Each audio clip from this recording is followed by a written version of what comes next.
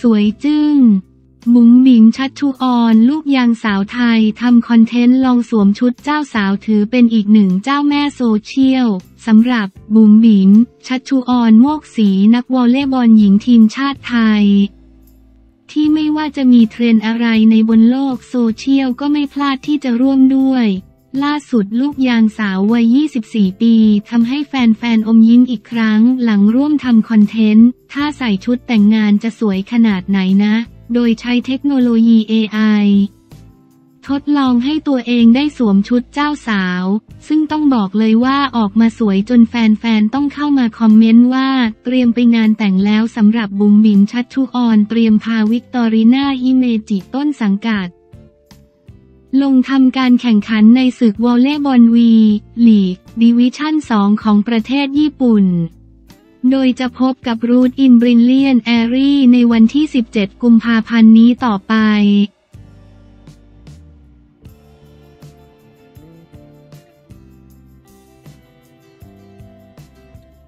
น้องพิงพิชามนลงซ้อมทันทีก่อนลุยศึกขนไก่อินโดนีเซียมาสเตอร์สน้องพิงพิชามนโอภาสนิพัทธ์นักแบดมินตันสาวไทยวัย 17 ปีมือ 53 ของโลก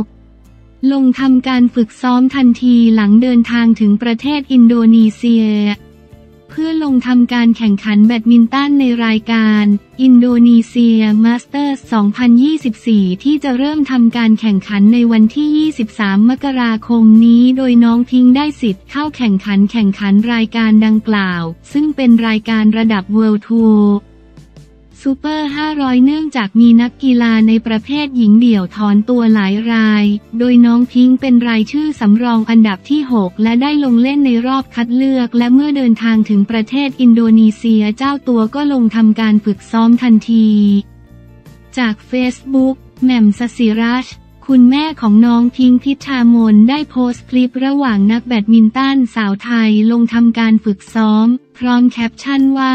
ถึงปุ๊บซ้อมปั๊บ บินด่วนอินโดนีเซียมาลองสนามก่อนการแข่งขันพรุ่งนี้เช้าค่ะสำหรับน้องพิงพิชามนเตรียมลงทำการแข่งขันในรอบคัดเลือก โดยจะพบกับเอสเตอร์นูรูมีตรีวาร์โดโยจากอินโดนีเซีย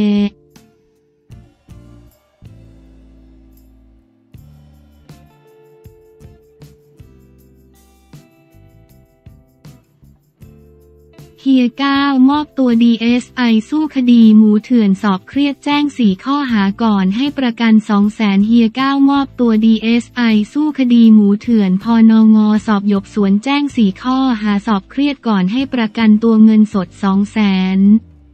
เงื่อนไขห้ามออกนอกประเทศนัด ประชุมคณะพนักงานสอบสวนพรุ่งนี้จากกรณีคณะพนักงานสอบสวนคดีพิเศษ DSI คดีหมูเถื่อนภายใต้การกำกับของพันตำรวจตรียุทธนาแพรดำรองอธิบดี DSI และรักษาราชการแทนอธิบดี DSI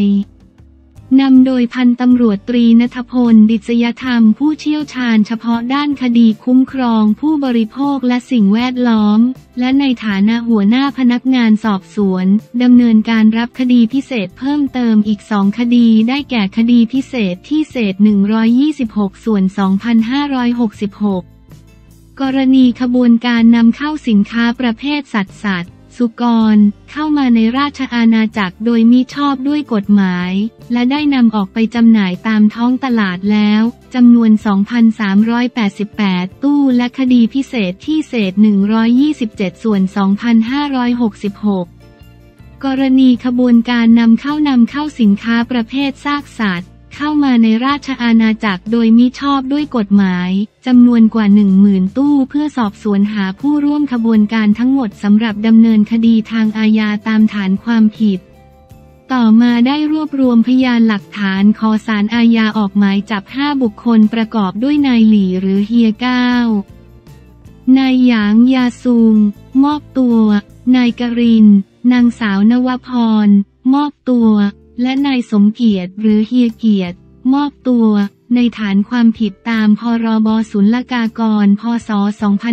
2560 พรบโรคระบาดสัตว์ พศ 2558ความผิดฐานอ้างยี่ซ่องโจรและข้อหาร่วมกันฟอกเงินตามที่ได้มีการนำเสนอข่าวไปอย่างต่อเนื่องแล้วนั้น เมื่อเวลา 13 นาฬิกา 50 นาที วันที่ 22 มกราคม 2567 ที่ท่าอากาศยานดอนเมืองผู้สื่อข่าวรายงานว่านายหลี่เซิ่งเจียว หรือเฮียก้าวผู้ต้องหาตามหมายจับคดีตีนไก่สวมสิทธิ์ เดินทางจากสาธารณรัฐประชาชนจีนกลับประเทศไทย โดยลงเครื่องที่ท่าอากาศยานดอนเมือง เจ้าหน้าที่ตอมและเจ้าหน้าที่ชุดสืบสวนสะกดรอยและการข่าว กรมสอบสวนคดีพิเศษ DSI จึงเข้าควบคุมพร้อมทำบันทึกจับกลุ่มและแจ้งข้อหาสี่ข้อหาก่อนนำตัวมาที่ DSI เพื่อขยายผลจากหมูเถื่อนหนึ่งหมื่นตู้หลังจากนายหลี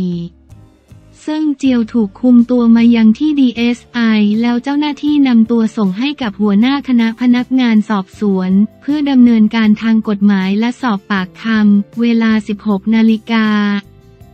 เจ้าหน้าที่ได้คุมตัวเฮียก้าวไปลงบันทึกจับกลุ่มที่ห้องพนักงานสอบสวนคดีหมูเถื่อนชั้น 7 ของอาคาร DSI โดยมีพันตำรวจตรีนัทพล ดิษยธรรมผู้เชี่ยวชาญเฉพาะด้านคดีคุ้มครองผู้บริโภคและสิ่งแวดล้อม และเจ้าหน้าที่ DSI ดำเนินการสอบสวน ระหว่างทางสื่อมวลชนพยายามสอบถามถึงเรื่องคดี เฮียก้าวตอบว่าไม่ได้ทำเมื่อถามว่าจะมีเรื่องชี้แจงหรือไม่เฮียก้าวตอบสั้นๆว่าไม่มีเวลา 16นาฬิกา50 นาทีเฮียก้าวยังคงถูกสอบสวนอยู่ภายในห้องสอบสวนด้วยสีหน้าแคแรงเครียด ต่อมาเวลา 18 นาฬิกา